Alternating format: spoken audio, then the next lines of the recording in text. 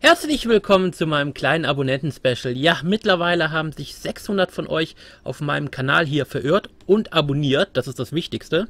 Und deshalb habe ich mir gedacht, ich mache ein kleines Abo-Special. Äh, das Special besteht aus drei knappen Teilen. Wahrscheinlich eher zwei knappen Teilen und einen etwas längeren. Im ersten Teil werde ich ein bisschen äh, darum erzählen, warum ich in letzter Zeit so wenig Content mache. Äh, der zweite Teil ist dann das äh, Entschuldigung, ich bin ein bisschen nervös. 600 Leute, das ist ein bisschen viel. Ähm, Im zweiten Teil geht es darum, den traditionellen Teil eines Abonnenten-Specials bei mir zu machen. Also ihr dürft über eins der nächsten Let's Plays, die ich spielen werde, abstimmen. Und dann im letzten werde ich euch ein bisschen hier in Arch Age rundführen und ein bisschen zeigen, was ich, äh, seit ich das letzte Mal ja, aufgenommen habe, so erreicht habe. Okay, ähm, fangen wir erstmal an, warum ich in letzter Zeit so wenig Content bringe. Nun, Ihr wisst ja vielleicht, ich bin dualer Student, das heißt, ich arbeite und studiere gleichzeitig. Äh, und momentan bin ich wieder in der Studienphase. Und äh, die ist diesmal richtig heftig. Äh, das heißt, ich habe sehr viel zu tun, sehr wenig Zeit. Deshalb kommen auch momentan die, ja, meine Let's Plays ein bisschen ähm, kurz. Daneben her spiele ich momentan äh, ausschließlich eigentlich nur noch Arch Age. Ich streame es ein bisschen. Das heißt, man kriegt trotzdem noch ein bisschen was von mir mit. Allerdings äh, ja, für YouTube produziere ich momentan weniger. Das wird sich allerdings dann ab Juni wieder ändern, wenn ich wieder ein bisschen mehr Zeit habe. Sprich, wenn ich wieder ja, zum Arbeiten gehe. So paradox das klingt, während ich arbeite, habe ich mehr Zeit für solche Sachen. Weil man hat halt abends Feierabend. Wenn man nach Hause kommt, äh, ist die Arbeit vorbei und äh, das war's. Dann hat man den Rest des Abends frei. So. Ähm, allerdings, äh, wer trotzdem nicht genug von mir bekommen kann, äh, will, der kann immer mal wieder auf Twitch vorbeigucken. Da streame ich dann immer mal ein bisschen, wenn ich äh, ja, Art Edge spiele. Und da produziere ich dann auch momentan ein paar Tutorials, die ich dann auch hier immer mal wieder auf YouTube bringen werde. Das erste Tutorial oder Guide, wie man es auch immer nennen mag, ist schon unterwegs, äh, hat nur momentan ein bisschen Probleme, da ich im Hintergrund immer wieder ein bisschen Musik streame. Deshalb äh, gab es da einen Content-Treffer, der es nicht erlaubt hat, in Deutschland abzuspielen. Das heißt, momentan bin ich gerade dabei, äh, da ein bisschen mit der Musik zu machen. Ich hoffe, dass mit dem Audio klappt so einigermaßen. Ich bin noch nicht hundertprozentig sicher, ob alles so klappt, wie ich es mir gehofft habe, aber wir werden sehen, äh, wenn das rauskommt. Deshalb hier erstmal kein Hintergrundton. So, äh, jetzt kommen wir aber zu dem, was wir abstimmen. Ähm, nun, 2015 ist für mich das Comic-Jahr. Mal wieder. Zumindest, wenn es ums Kino geht. Äh, wir haben dieses Jahr Ant-Man kommt, dann äh, ist diese Woche Avengers 2 angelaufen. Äh, viele Kinotrailer kamen jetzt gerade verstärkt raus. Batman vs. Superman und so weiter. Und da habe ich mir gedacht, mein nächstes Let's Play wird im Bereich Superhelden spielen. Und ich habe ja schon gesagt, Batman vs. Superman kam gerade. Also was trifft sich da nicht besser, als den dunklen Ritter selbst zu spielen? Und deshalb habe ich mir gedacht, äh, als Titel 1 steht zur Auswahl mein Lieblings-Batman-Titel, Batman Arkham Asylum. Ja, äh, ein wunderbares Actionspiel äh, von der Arkham-Serie gefällt mir Arkham Asylum immer noch am besten, weil es einfach dieses, äh, diese Enge von Arkham Asylum so gut rüberspappt. Ähm, Arkham City und so weiter ist zwar auch nicht schlecht, äh, aber wie gesagt, Arkham Asylum ist immer noch für mich der beste Titel der Serie. Ähm, aber ich weiß, es gibt Leute, die mit DC nicht so viel anfangen können, die sind dann lieber bei Marvel unterwegs. Deshalb wäre Titel 2, der zur Auswahl steht, Lego Marvel Superheroes, äh, wo man nicht nur die Avengers, sondern alle oder fast alle Helden des Marvel-Universums spielen kann. Halt in klein und putzig. Aber diese kleinen, putzigen Teile haben es trotzdem faustdick hinter den Ohren. Das heißt, für die Leute, die lieber auf die Marvel-Helden oder Lego-Spiele stehen, die können äh, jetzt hier später für Lago, äh, Lego Marvel Superheroes abstimmen. Wer weder einen besonderen Comic-Franchise bevorzugt, also im Verlag, oder vielleicht sagt, ich will mal was Ausgefallenes haben, was äh, Platinum-mäßiges. Für den wäre der dritte Titel und der letzte äh, zur Auswahl, nämlich The Wonderful 101.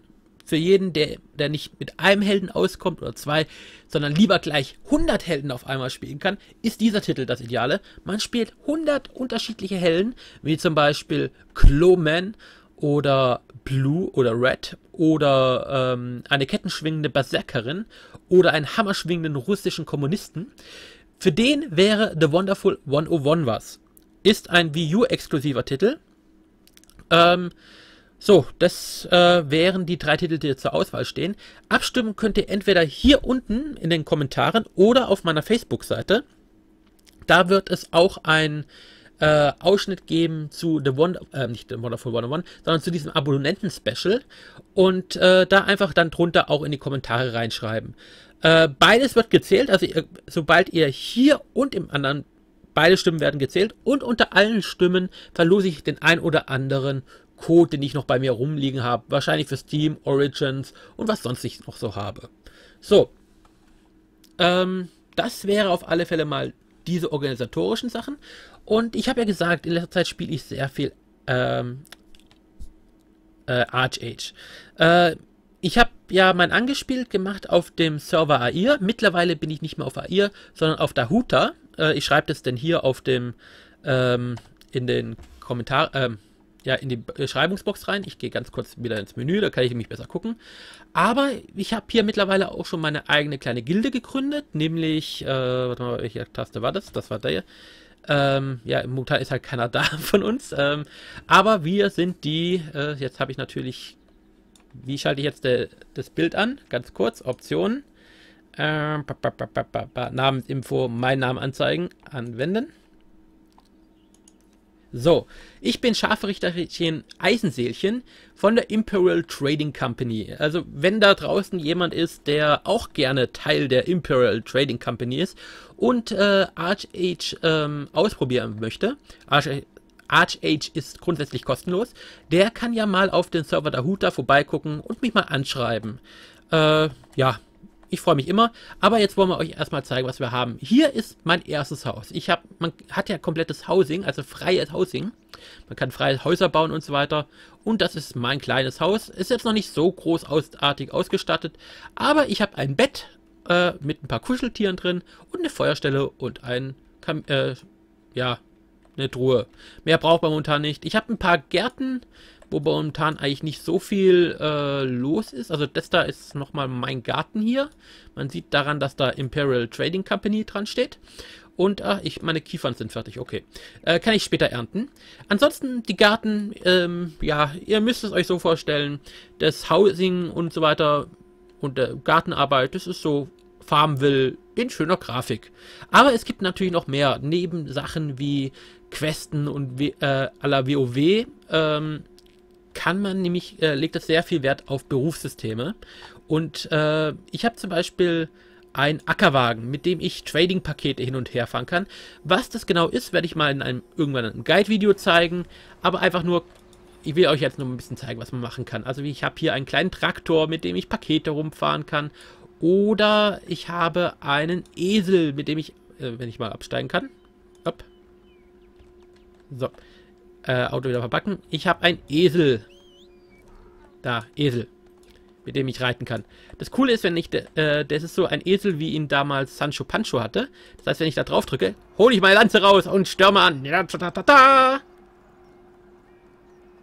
Okay, jetzt ich kann dann nicht lenken. Ähm, egal. Aber ich habe natürlich auch meinen Kuschelbuschel. Hier. Äh, Kuschelbuschel, komm raus. Kuschelbuschel. Äh, komm raus. Da, Kuschelduschel. Mein Kuschelduschel. Und mit Kuschelduschel werde ich jetzt mal zum Meer reiten, denn es gibt äh, neben Housing kann jeder Spieler sich seine eigenen Schiffe bauen. Äh, wo ich gerade drauf hinspare, ist ähm, ja mein ähm, große Galeone, die dann von mehreren Leuten gleichzeitig gesteuert wird. Da ist noch ein klein bisschen Weg hin. Äh, allerdings habe ich schon meinen kleinen Harpunenklipper und mit dem kann man viel schönen Umfug bauen. Und den will ich, das will ich jetzt ein bisschen mit euch machen. Nämlich, äh, man kann mit dem Hochsprung machen. Das ist äh, richtig witzig. So, äh, ja. ich muss erstmal absteigen. Also das hier ist heute sozusagen eher äh, das Spaßvideo. Wer ernsthafte Videos haben will, wie gesagt, ich werde dazu ein bisschen Guides machen. Aber heute einfach mal, was für Umfug das geht. Übrigens, das, was ich euch hier heute zeige, das wird wahrscheinlich ab nächster Woche nicht mehr so einfach gehen. Weil, ah, jetzt habe ich das Licht angemacht, das wollte ich jetzt eigentlich gar nicht. Weil ab nächster Woche äh, werden die Schiffe eine neue Physik-Engine bekommen. Ähm, und damit werden sie, was ich mich jetzt, was ich jetzt gerade vorhabe, dadurch beschädigt. Momentan werden sie noch nicht beschädigt, das ist nämlich noch gar nicht schlecht. Dadurch kann ich mich so tolle Sachen machen, wie ich gleich machen werde, nämlich Stabhochsprung. So, wir äh, schalten, äh, gehen wieder los. Wir gehen vorne, wir haben hier eine Harpune. Ähm, F. Dann R. Wir feuern. Ich schalte das HUD mal wieder aus. So, dann sieht das mich schön aus. Und jetzt holen wir die Harpune ein. Dadurch, dass die Harpune allerdings auf dem Meeresgrund festgemacht ist, ziehen wir uns gerade nach unten. Das funktioniert nicht nur mit Meeresgrund, sondern man kann sich damit auch ans Land ziehen, mit dem Schiff. Oder gar ähm, an Helikopter, äh, nicht Helikoptern, an Luftschiffen. Hier Helikopter gibt es ja gar keine. Wir sind ja hier nicht bei ähm, irgendein Action-Spiel, sondern ein Fantasy-Spiel. Und wenn das wir äh, oben sind, fliegen wir nach oben durch die Auftriebskraft. Physikalisch nicht hundertprozentig korrekt, aber sie haben immerhin ein Physikmodell. Blatsch. Ja, nur mit der Landung. Da muss ich noch ein bisschen üben. Ja, okay. Äh, das hat nochmal wieder rein. Das probieren wir aber gerade nochmal aus. Weil momentan kann man das ja probieren. Momentan gehen die Schiffe ja nicht kaputt. Erst ab nächsten Dienstag. Deshalb probieren wir das jetzt noch ein bisschen. Übrigens, äh, das Logo hier ist unser eigenes Gildenlogo, was wir selbst kreiert haben. Äh, das ist jetzt hier nur spiegelverkehrt. Das müsste man jetzt von der anderen Seite gucken. Deshalb schwimme ich mal ganz kurz hier rüber. Äh, komm, komm hier hoch.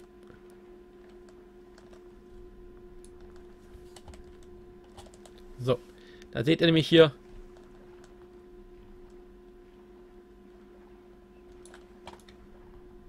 Ja, komm. Imperial Trading Company established äh, 715. Anno Domini. Also wir sind schon lange im Geschäft. Ganz lange. Nicht erst seit Anfang des Monats. Wie man immer wieder behaupten mag. So, äh, komm, komm, komm. Beifuß. So. Also nochmal. Wir drehen uns mal ganz kurz.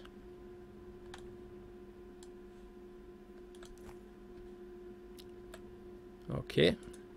Ich hoffe, das ist jetzt hier nicht zu tief, weil wir müssen natürlich irgendwo festmachen können. F. R. Sagte R. Ne, das ist schon zu tief. Müssen wir ganz kurz nochmal drehen.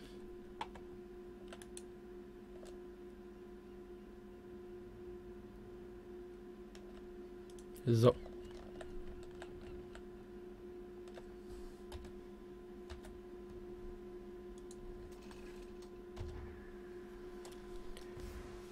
Und wir holen wieder den Kiel.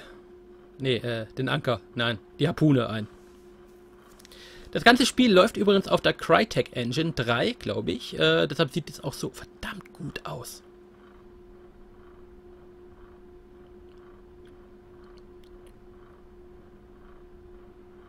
Und wiu, doppelter Rückberger. Und, und, landen wir richtig? Ja, haha, zum ersten Mal. Das war eine 9 von 9 Punkte Landung. 9 von 10 Punkte Landung. So, okay. So, das wäre das gewesen, was ich euch zeigen wollte. Äh, dann will ich euch noch ein bisschen äh, mein zweites Haus, meine, äh, mein zweites Bauernhaus zeigen. Das habe ich nämlich in tropischen Gefilden gebaut. Hier, das ist ja eher nordeuropäisches Klima, obwohl hier vielleicht auch mal eine Palme steht. Äh, allerdings muss ich mich dafür hin teleportieren. Das heißt, äh, erstmal ganz kurz mein Boot wieder einholen. Teleporter raus. Äh, Phils Haus in Tiefensand.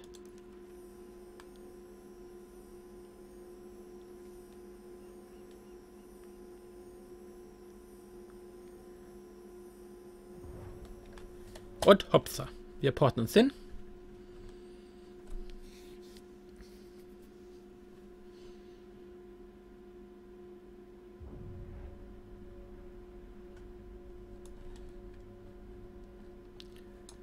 Und wir sind da. Richtig schön. Das Tolle ist übrigens, wir haben auch so, wir sind Batman, nämlich wir haben einen eingebauten Gleiter. Ist das nicht cool? Damit werden wir wieder beim Thema abstimmen für Batman, äh, Marvel, äh, Lego Marvel Superheroes oder eben für The Wonderful 101. Äh, nur damit ihr es nicht vergessen habt. So, und hier, da geht es dann noch hier. Da gibt es hier noch einen eigenen Kontinent. Also es gibt im Prinzip drei Kontinente. Ein Kontinent, zwei Kontinent, äh, das ist der PvP-Kontinent. Und hier in dieser Mitte, ähm, in Friedrich, das ist eine eigene Fraktion, da leben die Piraten. Das ist, es gibt nämlich so ein System, äh, wer zu viel äh, PvP gemacht hat, also äh, gegen die eigene Fraktion, also äh, Playkiller war, der wird ausgestoßen von seiner Fraktion und muss zum, als böser Pirat äh, ähm, dahin siechen. Also es ist ein sehr, sehr tolles äh, PvP-System. Ähm, es gibt dann auch Gerichtsverhandlungen, also momentan wäre ich auf Platz 273 meiner Gerichtsverhandlungen äh, und da kann man abstimmen, ob die Leute auch ins Gefängnis gehen sollen und so weiter. Ja, ich schwärme hier einfach nur ein bisschen gerade von Archage. Wenn ihr mehr sehen wollt, wie gesagt, guckt bei mir in den Stream rein oder äh, ich werde auch in nächster Zeit immer mal wieder ein oder andere Tutorial reinmachen. Ab nächster Woche kommt übrigens ein Patch, das habe ich ja auch schon gesagt. Äh, damit wird auch viel Neues dazukommen. Und äh, ja, wir sehen uns dann in der nächsten Folge. Ach ja, das ist übrigens die Luftschiffe, die es gibt. Wenn ich jetzt mein Boot hier draußen hätte, hätte ich mich jetzt mit der Harpune auch da ranschießen können und mich dann damit rumtreiben lassen können. Hätte. Wenn ich eins dabei gehabt hätte. So, das war's auch schon wieder. Ich sage danke, dass ihr zugeschaut habt und ich hoffe, euch hat dieses kleine Special gefallen. Stimmt ab über mein nächstes Let's Play und ab Juni wird es wieder regelmäßigen Content geben. Dann geht es auch weiter wieder mit äh, Final Fantasy 3, mit äh, Dragon Age Origin, äh, nicht Dragon Age Origins, Dragon Age Awake, nein, Dragon Age, wie heißt das Teil nochmal? Äh, Inquisition, genau, und den anderen Titeln, die ich noch gerade am Laufen habe. Bis dahin, macht's gut und danke, dass ihr zugeschaut habt. Ciao, ciao.